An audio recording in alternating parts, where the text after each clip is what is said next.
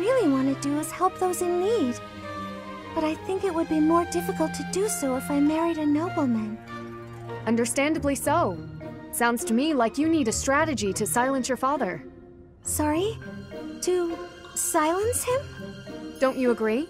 It seems the best course of action would be to consider severing all ties with the family and running away. we don't need to go that far. Silence him.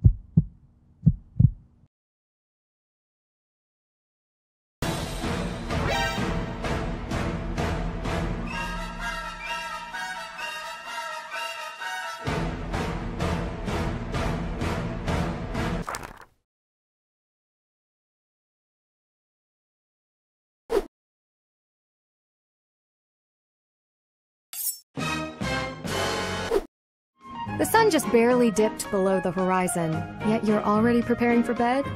Rising with the dawn and setting with the sun. Isn't that how a life is meant to be lived?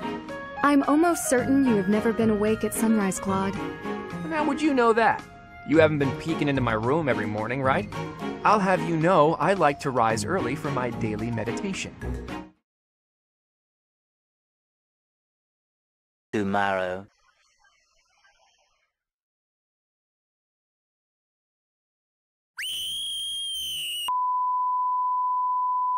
you